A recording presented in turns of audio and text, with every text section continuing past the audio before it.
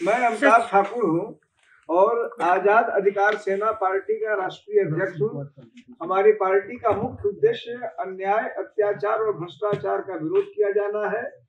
और इसी संदर्भ में आज हमारा यहाँ नोएडा का कार्यक्रम था, जहाँ हमने एनटीपीसी में धरना दे रहे किसानों के संदर्भ को देखा और वहाँ ज्ञात हुआ कि किस प्रकार नोएडा प्राधिकरण वालों ने और एनटीपीसी ने स्पष्ट घोर भ्रष्टाचार करते हुए अलग अलग दरों पे लोगों को मुआवजे दिए। उतना ही नहीं, यहाँ के एक एसडीएम और एसीपी ने, जो लोग अपने हक की मांग कर रहे थे, उन महिलाओं के साथ बर्बरता पूर्वक मारपीट की गई।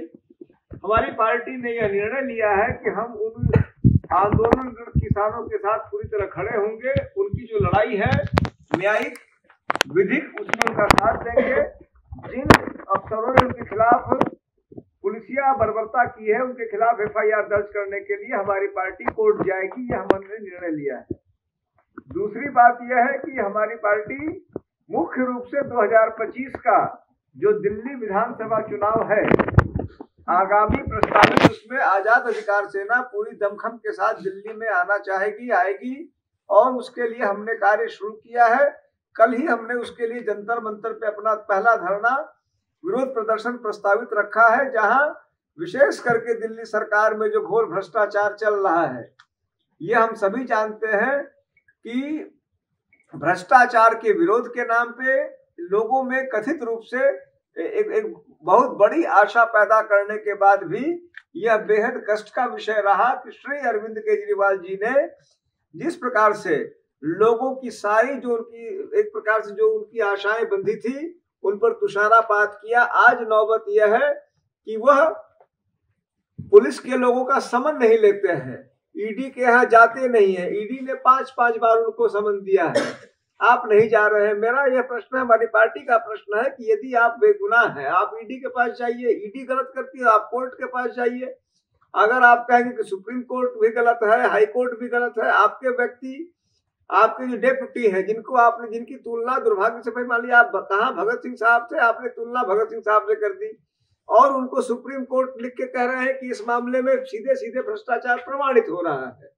तो हमारी पार्टी मूल रूप से जिस प्रकार का छद्म दिल्ली में हुआ, दुर्भाग्यवश जो कुछ हुआ, उस और हमारी पार्टी से लोग पूछते हैं कि आप उसका दोहराव नहीं करेंगे कैसे सुनिश्चित करेंगे तो वह वह एक चैलेंज लेते हुए कि हम उससे बिल्कुल अलग उन मूल सिद्धांतों को जिन्होंने उन, जिनको उन्होंने कहा, लेकिन किया नहीं, उन मूल सिद्धांतों के साथ चलते हुए दिल्ली में हम वास्तव में अन्याय, अत्याचार, भ्रष्टाचार से रहित स्थिति पैदा करने में अपना योगदान दे सके। इसके लिए हमारी पार्टी दिल्ली में 2025 के चुनाव के लिए पूरी शिद्दत से कार्य करेगी। हम कहाँ तक सफल होंगे, क्या करेंगे, किस हद तक हम वहाँ इम्पैक्ट दे पाएँगे, वह तो आगे की बात है, लेकिन यह तय है कि दिल्ली में अन्य स्थानों के साथ साथ दिल्ली में भी इन तीन बुनियादी मुद्दों पर काम करने की बेहद ज़रूरत है और उसके निकाह से हमारी पार्टी कार्य करेगी। सर, आगामी 2025 की आप बात कर रहे हैं तो आम आदमी पार्टी के साथ साथ बीजेपी भी, क्योंकि दो कहीं जो मुख्य दल हैं, वो चुनाव में होंगे ही होंगे। तो किस तरीके से, क्योंकि सर, भ्रष्टाचार के मुद्दे पे केजरीवाल जी ने भी दो बार लगातार सरकार बनाते आ रहे हैं तो किस तरीके से उनको और चुनौती आप देने वाले हैं और क्या किस तरीके की आपकी प्रारूप और रूपरेखा होगी आज़ाद हिंद की, कि किस तरीके से उन लोगों तक उसको किस तरीके से समझाएँगे? क्योंकि तो अगर भ्रष्टाचार की बात करेंगे तो लोग उसी के आधार पर केजरीवाल जी को लेकर देखिए, इसमें दो बातें हैं। एक तो यह है कि जो दिल्ली का की जो स्थिति है, श्री अरविंद केजरीवाल ने भ्रष्टाचार के विरोध की बातें कही और यह बात मैं समझता हूँ कि लगभग अब ज़्यादातर लोग, क्योंकि हर एक के अंधभक्त होते हैं, उनकी अलग बात है। ज़्यादातर लोग इस बात को बखूबी स्वीकार कर चुके हैं या मानना शुरू कर चुके हैं कि उस मुद्दे पे विफलताएँ इनकी स्पष्ट रही, स्पष्ट परिलक्षित हुई। तो हमको पहली बात तो यह लोगों तक कहना है, बताना है, उनको समझाना है और स्वयं भी देख रहे हैं। उस बात को तथ्यों और साक्ष्यों तक हम लोग को ले जाना है। दूसरी बात आपने बहुत अच्छी बात कही कि जो भारतीय जनता पार्टी है उसके जो, जो तथ्य है भारतीय जनता पार्टी का जहाँ तक प्रश्न है हमारा स्पष्ट मानना है और मैं समझता हूँ कि हर कोई इस बात से सहमत होगा कि भारतीय जनता पार्टी के लिए भ्रष्टाचार कभी एक मुद्दा नहीं है। मैं देखता हूँ कि सोशल मीडिया पर रोज कई नाम ट्रेंड करते हैं वे नाम जो इनके निशाने पे नंबर एक पे थे और वह उनकी सरकार जैसे उनकी सरकार में मंत्री बने वैसे ही वह पवित्रतम एंटिटी हो गए इन नामों को गिनाना बार बार उन्हीं नामों को गिनाना जो पब्लिक डोमेन में है। तो हमें इस बात को भी लोगों के तक ले जाना होगा, अपने ढंग से, जिस प्रकार से तो मतलब ये लोग गोयबल्स के सिद्धांत पे चलना चाहते हैं कि झूठ को बार बार कहो तो सच लगने लगे तो हमें भी सच को बार बार कहना पड़ेगा और यह बात सामने लाना पड़ेगा। कि किस प्रकार से भ्रष्टाचार विरोध का भारतीय जनता पार्टी का जो मुद्दा है, कथित मुद्दा, उसका एकमात्र अर्थ है विपक्ष हटाओ। तो यहाँ दो तो बातें आती हैं। भारतीय जनता पार्टी केजरीवाल जी पर अटैक कर रही है, इसलिए नहीं कि भ्रष्टाचार का विरोध है, क्योंकि वो विरोध विरोधी पार्टी इसलिए है, हमें इन दोनों से हटके जो सच्चाई है, वास्तव में अन्याय का, वास्तव में अत्याचार का, वास्तव में भ्रष्टाचार का, चाहे कोई करे, अमिताभ ठाकुर करे, नूतन ठाकुर करे, देवेंद्र सिंह करे, केजरीवाल करे, कोई भी करे तो उसका अंत हो सके न्याय और कानून, हम हम भाजपा में चले जाए। केजरीवाल जी के साथियों ने बार बार कहा कि आज सिसोदिया जी और वो चले जाए संजय सिंह ये सच्चाई है कि आज चले जाए, कल को मुकदमे खत्म हो जाए। उन स्थितियों से अलग एक ऐसी इतर स्थिति बने, जहाँ सिर्फ़ और सिर्फ़ न्याय और तटस्थता के आधार पर कार्रवाई हो। हमारी पार्टी मात्र और मात्र उसकी पक्षधर है, यह नहीं है। हम, मैं कभी नहीं कहूँगा, न कहता हूँ कि हमारे यहाँ जो आ गए अच्छे हैं, वो अच्छे हैं, बुरे हैं, वह अलग बिंदु है। अगर वो अच्छे हैं तो हम उनके साथ हैं। यहाँ समस्या ये हो जा रही है कि अगर मेरे साथ है तो उनका सारा गुना माफ़ है, जो एक बेहद खतरनाक स्थिति है। सर, जिस तरीके से आपकी उन्हें पार्टी की बात की है तो ये दूसरी विभिन्न पार्टियाँ जो कि चाहे हम दिल्ली की अगर मुख्यतः बात लें, अन्य पार्टियाँ भी लड़ती हैं, उनका भी मुख्य मुद्दा यही रहता है कि हम भ्रष्टाचार को मिटाएँगे और जनता तक जो सबसे मुख्यतम लाभ है वो अधिकतम तक हम पहुँचा पाएँगे। तो उसमें कुछ अलग है या मुख्य विचारधारा केवल भ्रष्टाचार पे नियमित रही देखिए, मैं यह मानता हूँ, अलग का प्रश्न सिर्फ़ इतना भर है, जो एक कथनी और करनी का अंतर होता है। मैं समझता हूँ कि जिस प्रकार से किसी भी घर में होता है कि खाना तो लगभग वही बनता है, हर गृहिणी लगभग वही बनाती है। लेकिन वो किस प्यार से, किस स्नेह से, किस विश्वास के साथ उसको प्रस्तुत कर रही है, उसमें काफ़ी कुछ अंतर पड़ता है। तो जो शब्द तो वही है, इन्हीं शब्दों की लड़ाई है। इन शब्दों के साथ यदि, अब यहाँ प्रश्न आपका है, उसका उत्तर यह है कि मैं कुछ जो कह रहा हूँ, उसकी कोई कीमत नहीं है। कीमत तब होगी जब मैं जो कह रहा हूँ उसको मैं और मेरे साथी, ये भी सही है कि जब मैं कह रहा हूँ और मेरे साथी कह रहे हैं, जब वह ज़मीन पे दिखेगा, जब लोग भी इस बात को स्वीकार करें कि हाँ ये जो कह रहे हैं, उसके अंदर सच्चाई है तो मुझे पूर्ण विश्वास है कि यदि सत्यता दिखने लगेगी तो स्वीकारता स्वतः होने लगेगी। अगर सत्यता नहीं दिखेगी तो मैं चीखते रहूँगा मेरी बात कोई नहीं मानेगा। एक अंतिम सवाल सर 2025 में उतरने से पहले क्या 2024 के लोकसभा चुनाव में दिल्ली की अगर बात करें तो कोई सांकेतिक या कोई आप अपना पदाधिकारी चुनाव में उतारेंगे ताकि लोग उस पार्टी को जान सकें या विचारधारा के सात सीटों में से किसी सीट पे? दो हज़ार चौबीस के चुनाव में जहाँ भी संभव होगा हमारे दो प्रत्याशी दिल्ली में हमने हमें मिले हैं। हमारे जैसा आपने बहुत अच्छे शब्द का प्रयोग किया सांकेतिक रूप में अभी हम उनको मान रहे हैं लेकिन हमारी कोशिश है कि क्योंकि हमारी पहली अर्ता यह है कि जैसा मैंने कहा कि हम जो कहें, उसकी योग्य हो। यह नहीं कि आज कुछ कह रहे हैं, कल को जैसे केजरीवाल साहब, जिन पे सबों को मध्यम वर्ग के वो आइकॉन थे, विदेशों तक आइकॉन थे तो वह पुनः पुनः वह चीज़ को लोगों के सामने आए कि मैं कुछ और कहते हुए आऊँ, और भाई मान लीजिए कि और कुछ और निकलूं, उससे बचना। महत्वपूर्ण मेरे ख्याल से सफलता प्राप्त करना नहीं है, महत्वपूर्ण है कि उस पर मेंटेन करना। उस दृष्टि से हमारी पूरी कोशिश है कि हमारे जो साथी हमें, हम उस पर शिद्दत से खड़े रहे। केजरीवाल जी ने कहा, और मैं केजरीवाल जी का विशेष नाम इसलिए लूँगा कि उन्होंने आशाएँ विशेष जगाई थी। तमाम ऐसे मुद्दे जिन अनछुए मुद्दे थे उनको छुआ, लेकिन छू के उनको क्या कर दिया? आपने वेबसाइट पे सारे लोगों के डोनर्स के नाम दिए, एक समय था, एक रुपए भी जो दे रहा है उसका नाम आपने वेबसाइट में ले रखा है। आज आप उनका वेबसाइट देख लीजिए, केवल स्व प्रशंसा के अलावा कुछ नहीं है। तो हमारी पार्टी पुनः वह धोखाधड़ी न करे मेरे लिए मूल चिंता का विषय है सर एक, एक अंतिम सवाल है। अमिताभ ठाकुर जब मैदान पे उतरेंगे तो कई लोग हो सकता है उनको जुड़ने के लिए दूसरी पार्टियाँ भी छोड़ के आए। और महिलाओं के लिए विशेषकर आप क्या लेकर रहे दो मुख्य सवाल सचिनों का। देखिए पहली बात तो ये कि मैं बिल्कुल मैं कहूँगा कि बिल्कुल ज़ीरो से हम लोग शुरू कर रहे हैं और एक एक कदम चलना चाहते हैं। मेरा मानना है कि हम जो जो जो कहें, जिस पर जो चीज़ हम बोल रहे हैं, वह लोगों को दिखे। वह यह न कहे कि कह रहा है, कर कुछ नहीं रहा है। कहने और करने की समानता हमारी हो पाए, मैं वह स्थिति लाना चाहता हूँ, जिसमें कहने और कहने, करने की समानता बने। जो इन इन उद्देश्यों के साथ हमसे जुड़ना चाहता है, मेरा यह मानना है कि उनका तहे दिल से स्वागत है।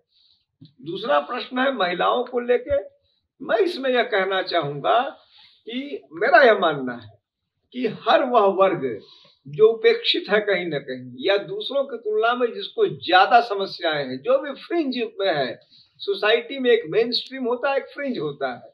हमारी पार्टी का यह मानना है कि मेन स्ट्रीम से बढ़ के फ्रिंज का ध्यान रखा जाना आवश्यक है। किसी भी रूप में कहीं भी कोई फ्रिंज पे आ जा रहा है, क्योंकि मेन स्ट्रीम की आवाज़ तो जनतंत्र में सब कोई बोल रहा है। लेकिन जो फ्रिंज पे आ जा रहा है, किसी भी रूप में अल्प हो जा रहा है, उसकी आवाज़ किसी भी कारण से। जैसे एक उदाहरण के लिए मैं कहूँ, आपने महिलाओं की बात की एक एक थर्ड जेंडर होता है, किन्नर। कभी आप और हम सोचते हैं कि उनकी समस्याएँ, भाई मान लीजिए, कल मैं भी किन्नर पैदा हो सकता था, कोई भी हो सकता था, भाई केवल थोड़े के कारण आदमी पुरुष है महिला है, किन्नर। तो यह जो थर्ड जेंडर है, या कोई भी ऐसा वर्ग है जो मार्जिनलाइज्ड है या फ्रिंज है। मेरा यह मानना है कि हमारी पार्टी यदि वास्तव में चाहती है कि कुछ करे तो हमें सबसे पहले ऐसे सभी मार्जिनलाइज्ड इश्यूज़ को विशेष सेंसिटिविटी के साथ देखना पड़ेगा। सर, आपने अभी कहा कि जो बीजेपी है, उसने भ्रष्टाचार के मुद्दे उठा के सिर्फ़ एक दिखावा किया है, उस क्षेत्र में कोई काम नहीं किया। बीजेपी ने जनधन जो आधार की योजना थी मोबाइल लिंक करने की, वो थी। और डिमोनेटाइजेशन नोटबंदी कराई गई थी। उसके साथ बहुत और भी कदम उठाए हैं। तो उस पर आप ये नहीं कहेंगे कि बीजेपी ने भ्रष्टाचार खत्म करने की भी कोशिश की है कहीं ना कहीं? देखिए, मैं यह नहीं कह रहा हूँ कि उन्होंने क्या किया। तो जैसे उनके तमाम मुद्दे, आपने डिमोनेटाइजेशन की बात कही। डिमोनेटाइजेशन इस बात से को मैं समझता हूँ कि लगभग तमाम लोग इस बात को कहते हैं बार बार कहते हैं कि वह एक विवादित स्थिति थी। आज भी इस बात को कोई प्रमाण नहीं मिले, क्योंकि इसके प्रमाण नहीं होते हैं। और कुछ प्रमाण मिले भी कि डिमोनेटाइजेशन के ठीक पहले, संभवतः 300 या 400 जिलों में उन्होंने, भाजपा के लोगों ने, उसी समय भाजपा के लोगों ने अपने बीजेपी कार्यालय बना लिए। प्रश्न यह हमेशा बना रहा। कई लोगों ने उसके पहले ही, उस घटना के पहले कह दिया कि 500 के नोट बदले जा रहे हैं। यह चर्चा रही कि वह जैसे कि इसको आप इनसाइड ट्रेडिंग कहते हैं। इनसाइड ट्रेडिंग की तरह की शिकायतें रही, इसके प्रमाण नहीं मिले, बात उस्मानी सुप्रीम कोर्ट तक गई, उन्होंने इसको खत्म कर दिया, उस मुद्दे को नहीं छुआ। डिमोनेटाइजेशन स्वयं में, कई लोग आज भी कहते हैं कि स्वयं में एक संभवतः इस देश का सबसे बड़ा भ्रष्टाचार था। मैं यह कह रहा हूँ, उनके और तमाम विवादित मुद्दे। आज भी, जैसे मान लीजिए ये अडानी साहब का मामला है, आपने, आप दो मुद्दे के देख लीजिए, अडानी का देख लीजिए और राफेल का देख लीजिए। आपने दुनिया में सबों की जाँच कराई, आपने भ्रष्टाचार की बात कही। मेरा एक छोटा सा प्रश्न है कि यदि अडानी साहब की और राफेल की आप जाँच पारदर्शी तरीके से करा लेते तो क्या हो जाता? यदि आप बिल्कुल पाक साफ़ है, आप आप तो फिर दूसरों के घर में एक एक इंच में जाँच कर रहे हैं। तो क्या आपकी ये ड्यूटी नहीं है? जैसे कि मतलब सीजर्स वाइफ वाली जो बात कहते हैं कि you have to be then Caesar's wife तो सीजर्स वाइफ अगर आप बनना चाह रहे हैं तो आपको राफेल और अडानी, सिर्फ़ यही दो मुद्दे मैं आपको कह रहा हूँ कि यदि उसमें आपने ईमानदारी से जाँच करके लोग कह दिया होता, आज आपके पास ताकत है, भाई आपकी, आपका समय है, लेकिन लोगों के मन में तो है कि आपने अडानी साहब की जाँच क्यों नहीं कराई? आपने राफेल की जाँच क्यों नहीं कराई? तो यह मुद्दे बताते हैं कि इनके पास काफ़ी कुछ छिपाने के है। आज समय है आपका। कहीं ना कहीं देखिए लोकतंत्र में हर चीज़ बिल्कुल स्ट्रक्चर नहीं चलता है। आपके पास कुछ ना कुछ ऐसे इश्यूज़ हैं। आप लोगों पे कई पढ़ रहे हैं लेकिन कई पढ़ना लोकतंत्र में एक बात है। वास्तव में जनतंत्र की भलाई के लिए कार्य करना अलग बात है। दोनों में तालमेल मुझे ऐसा नहीं लगता है कि वैसा है जैसा भाजपा उसको प्रदर्शित कर रही है। सर आज़ाद जो अधिकार सेना। अधिकार सेना पार्टी है इसका मुख्य एक तरह से समझ में आ गया कि नींव तो आपने भ्रष्टाचार को हटाने की रखी है।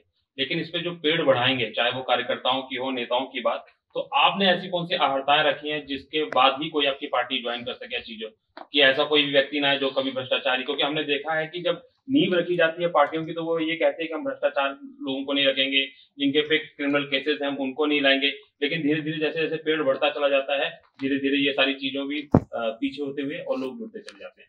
आपका क्या है, सर? देखिए, मेरा इसमें ये कहना है कि यह पुनः मेरे लिए किसी के लिए परीक्षा का विषय है, जो आपने बात कही, आज मुझसे यह प्रश्न पूछा जा रहा है और मैं इसका कोई उत्तर दूँ।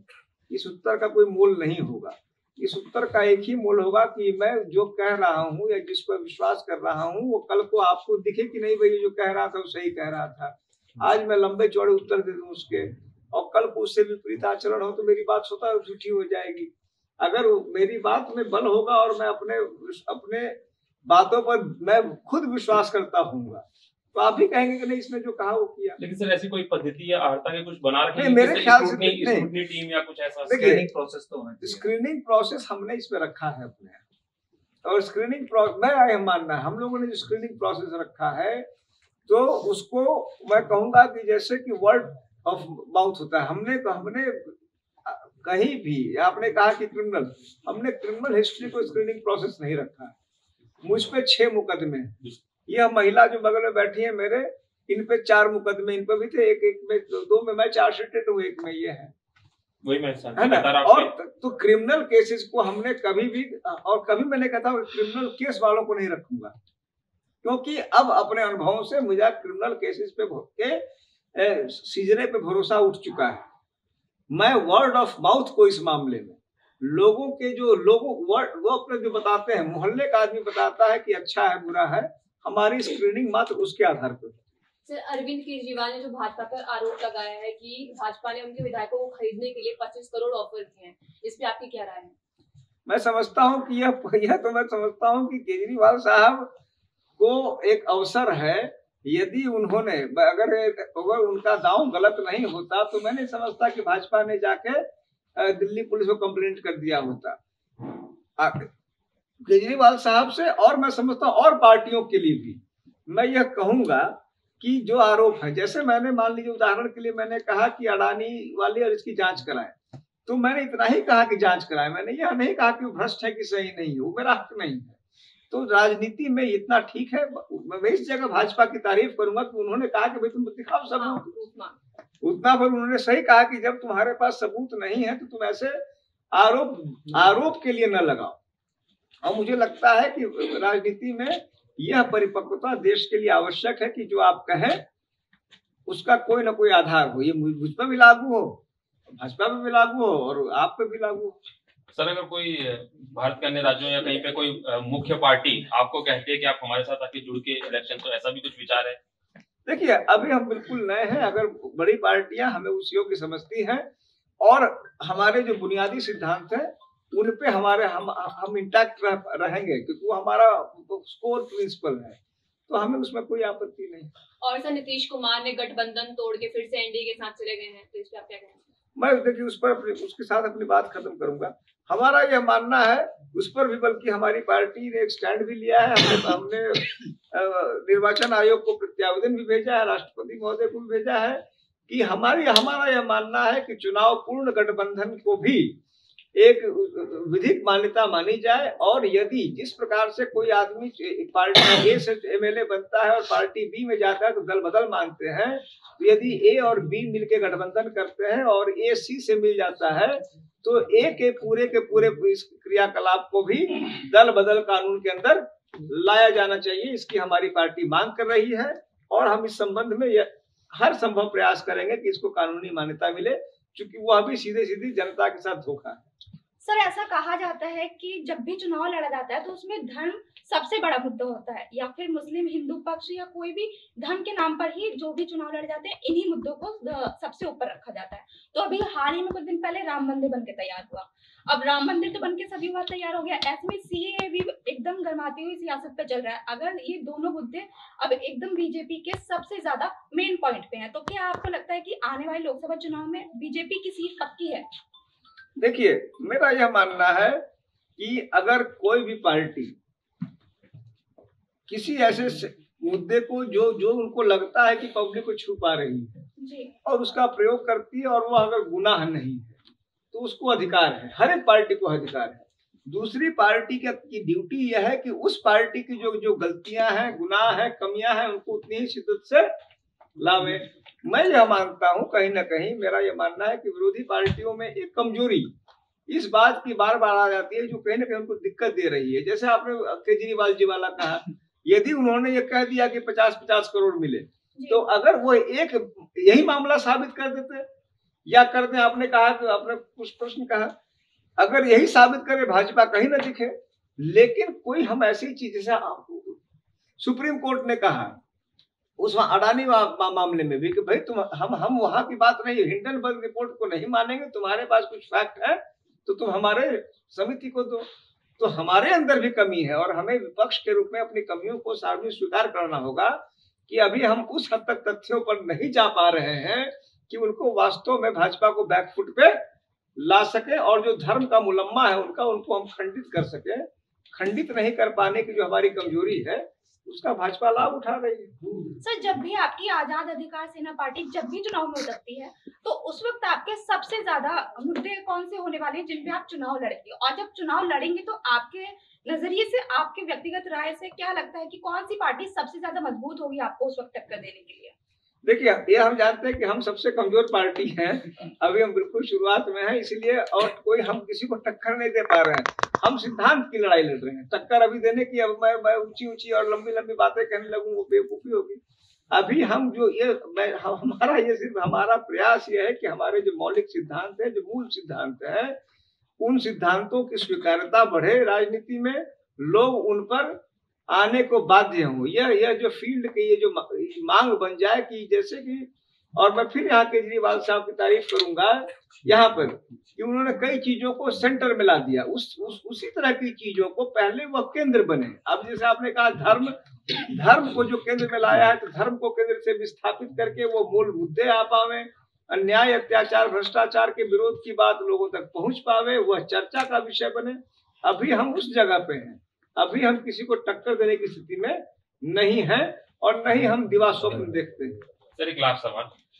मंडल और कमंडल के बीच में आप अपने आप को कहाँ पे देखते हैं अपनी पार्टी को सर? देखिए हम मतलब जो है जैसे कि अनफिट फॉर बोथ है हम लोग। हमारी मैं समझता हूँ हमारी संभवतः एक अकेली पार्टी होगी जहाँ किसी व्यक्ति को कोई भी दायित्व तो उसके उसकी जाति या धर्म पूछ के हम नहीं देते हैं। अब जैसे किसी के नाम के पीछे ही कुछ लिखा हुआ है मान लीजिए। शीर्षक है, तब तो हमारे मजबूरी है कि वे जान गया फला जाति का है या फला धर्म का है। हम सब व्यक्तियों को बिना जाति धर्म पूछे हम उनको स्थान देते हैं तो हम कमंडल में नहीं आए। और हम जो है धर्म के आधार पर राजनीति